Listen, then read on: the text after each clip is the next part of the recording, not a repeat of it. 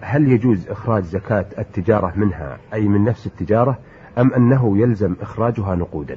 يا أخ عبد الله محمد عبد الله الحارثي من العرضة الجنوبية تقول هل يجوز إخراج الزكاة من العروض المعدة للتجارة؟ نقول لك يا أخ عبد الله هذه المسألة فيها خلاف بين أهل العلم.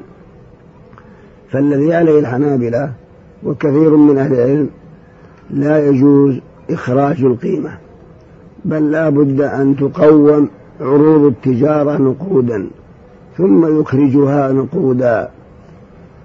هذا هو الذي عليه كثيرون من أهل العلم. وذهب شيخ الإسلام ابن تيمية إلى أنه يجوز إخراج الزكاة من نفس البضاعة ولكن الذي عليه العمل هو الأول.